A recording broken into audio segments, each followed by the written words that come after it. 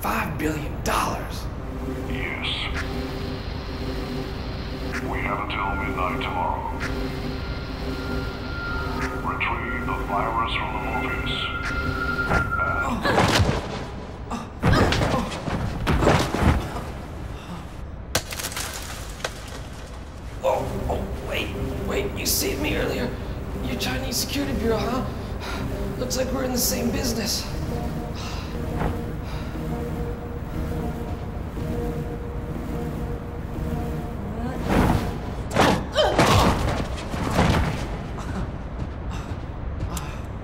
Same business doesn't mean same side, Bruce McGivern. You already know my name.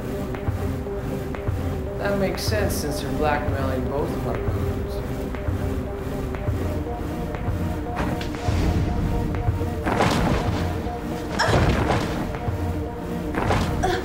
What's your name?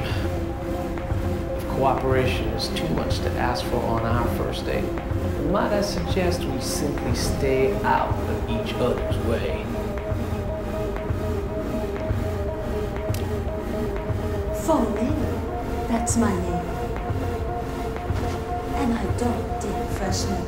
If you really want to help, then go home.